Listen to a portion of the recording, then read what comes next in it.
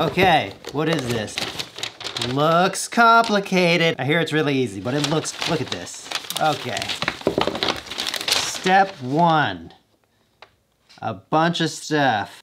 Okay, yep, just, just break everything.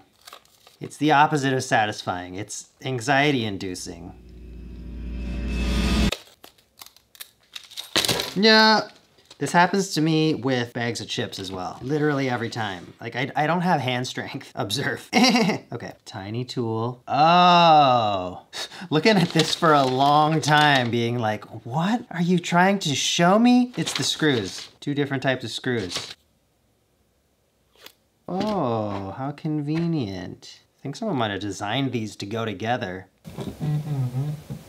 Hello? Hello? Hello? Hi, sir. This is Mustafa from the Air Duct Cleaning Services. How are you doing today? Oh, amazing. Hold on, just one second. Spam. See how long they hang out for. Sorry, yeah, just one second. Hello? Got him to a minute. Hello? Sir, can you hear me? Hello? Oh, there you are. Yeah, go ahead. Yes, sir. Sorry? Sorry, what's that? Sir, I am Mustafa from the Air Duct Cleaning Services. Duck cleaning services? Yes, sir. What is that? Sir, you live in an apartment or house? Uh, I'm in um, Winnebago. Okay, well, I guess I won't be getting my ducts cleaned.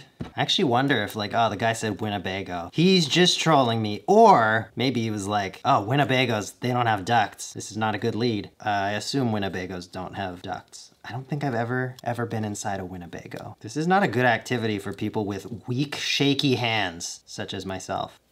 The screwdriver didn't need to be this tiny.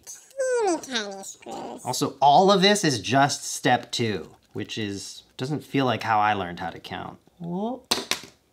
No, we're just doing it the easy way, not the four camera way. Gotta put the circles on. Okay, step three. These go like this.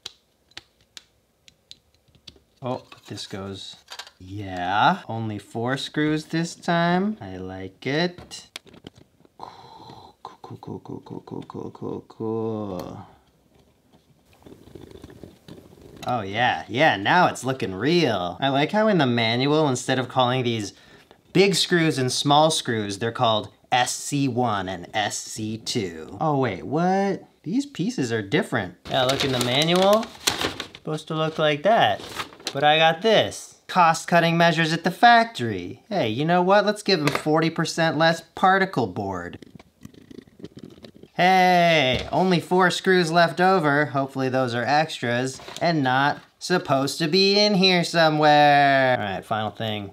All right, we got a Korg Nu:Tekt oscilloscope. So excited to plug this in. Serial number 41, which is fitting because that's how many hours it took me to